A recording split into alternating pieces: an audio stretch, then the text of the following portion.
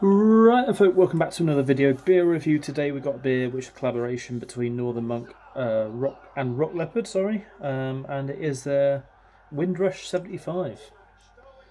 There we are. So, once I saw this it was out, I was like, I it's probably one of the Northern Monk beers that I will get ahead of anything else because um, of what it is.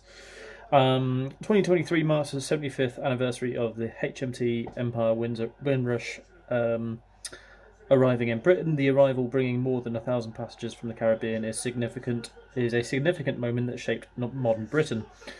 Uh, a key symbolic moment in the story of the Black British uh, contribution and the broader post-war migration from across the Commonwealth and beyond that helped rebuild the country post-war and create Britain of uh, the Britain of today.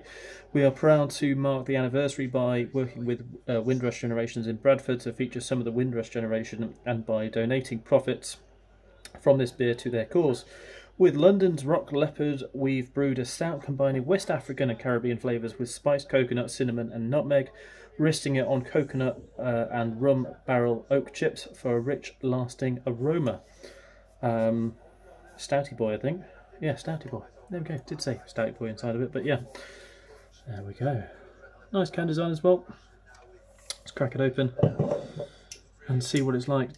Tends to be you know, cinnamon and nutmeg for me in a stout, I tend to, it's either I'm going to love it or hate it sort of thing.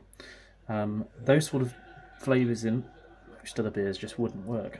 Um, I hope to God it's got some body to it. It's got a bit of depth because that on a on a thin stout is not going to be brilliant. Uh, seven percent ABV, so yeah, it's definitely got some spice to it. Yes, definitely some cinnamon. They say ginger as well. Did I read that? Am I making that up? Coconut, uh, so water, malted barley, oats, coconut, cinnamon, nutmeg, natural flavourings, hops and yeast. It might be the nutmeg I'm getting there. But yeah, smells like, yeah, Caribbean kind of chocolate cake sort of thing, but not siren. Smells good. We'll dive in. Cheers.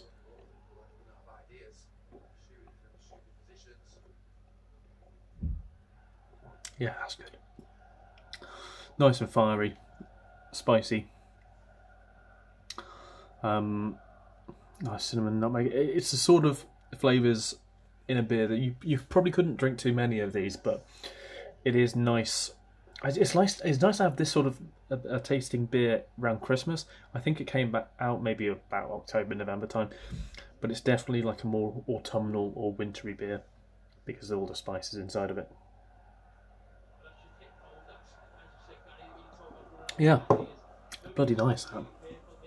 It's not too thick. It's got decent body. I think it could be. You know, if they were to do maybe like an imperial version of this, maybe like nine percent, I think it would work really well. 9 10 percent, and then you'd need a little bit more body um, because it is a little thin, but um, pretty nice nonetheless. Um, Windrush 75 from Northern Monk and Rock Leopard. See about for yourself. Give it a go. See you next one. Cheers.